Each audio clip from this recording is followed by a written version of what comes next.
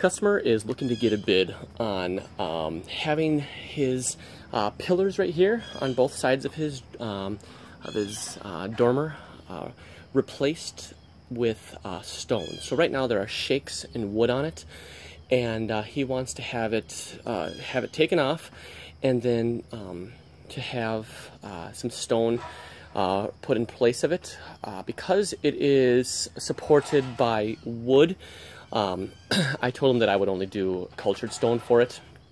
So uh, we need to find a stone that's similar in color to Fond du Lac or Chilton, and um, that's what we're going to use for the, uh, the wall stone on it.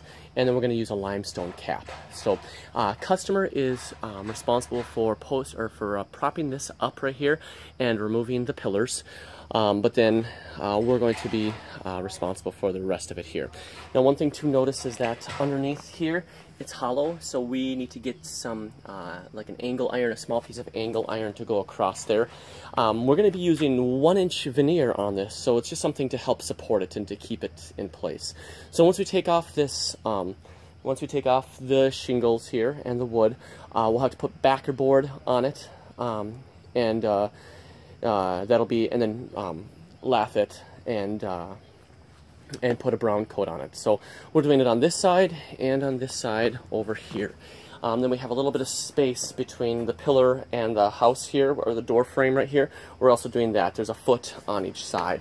So um, we're at 31 inches wide, uh, left to right. We are at um, 38 inches deep from corner back to the house there and then it is 32 inches tall altogether. So um, that's what we got going over here. So now uh, the second part of this is the uh, the bluestone. Uh, they've got a bluestone walkway over here in patio that uh, needs to be reset. So currently there's class 5 and sand underneath it.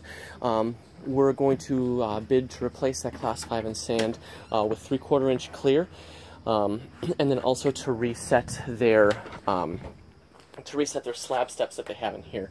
So um, this first part right in here, um, between uh, including the walkway, is 82 square feet. Um, the second area here is 100 square feet that goes up to this wall. And then from this wall right here uh, to the driveway is 133 square feet. And then from this point on is 80 square feet.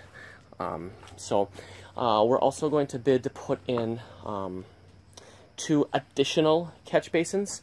Uh, one right here because they've got lots of water that's coming down over here, and I can tell that that they get water pooling in here because the bluestone is beginning to split something fierce right in this area here. Um, so we're going to put a catch basin down from here. There is one right here. I have no idea where it dumps to. Um, but then uh, the, the second one that we're installing is actually off of this side of the dormer over here, um, coming down the side. Um, right now they have a catch basin that's coming, or a downspout that's coming over and across. Um, and then uh, they get all the water coming down here. So we're going to put a catch basin in here and run it underneath this area and exit it on the far side. So um, I would say that about 75% you know, uh, yeah, 75% I would say of the bluestone is reusable. Um, for the most part, it's in decent shape. Um, I told him that we would give him some um, credit for it, uh, but there is a labor that have, have taken it out. So, um, let's see. They currently have super tight joints. Um, I told him we would not lay it that tight um, and with because we're as close to the water table as we are, I assume that they get lots of freeze thaw, and they're going to have the same problem as Kowalski with the uh, the. I mean, that's some of the we do have some breaks in some of these these pieces. I assume from that. So, um, yeah, I think that's it. Um, so, um, for Nick, we are on a dead end here. Uh, they're the last house, so uh, we actually should be golden. Um, can drop a, um, a dumpster on this side and crushed rock over here. Um, this is uh, ideal for something like this. Um, now keep in mind that this is probably not a, uh, um, I guess I don't know. Um, in my head we do this manually, but if we're taking everything up, I guess it's not the end of the world to do it with a skid, since we've got to dig it out anyway. So let's go ahead and do this with a skid. Um, because like I said, we're gonna have to take it. We're gonna have to take the pieces out manually, but um, there's no reason it's not too thin anywhere that we can't get through. The only real close place is right over here, um, and this is just a stone that's been the way and that's just sitting in here loose, so we can remove this. Um, but there is a there's a paver driveway over here that we would need to get to. So mm, as long as we've got no cars here, I think if we use the ASV, we should be able to come across this uh, pretty nice and easy.